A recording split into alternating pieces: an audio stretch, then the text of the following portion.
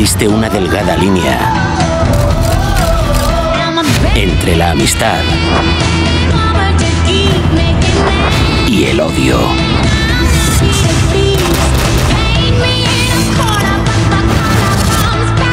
Amigos hasta la muerte. De lunes a viernes por la noche. Es auténtico. Estén.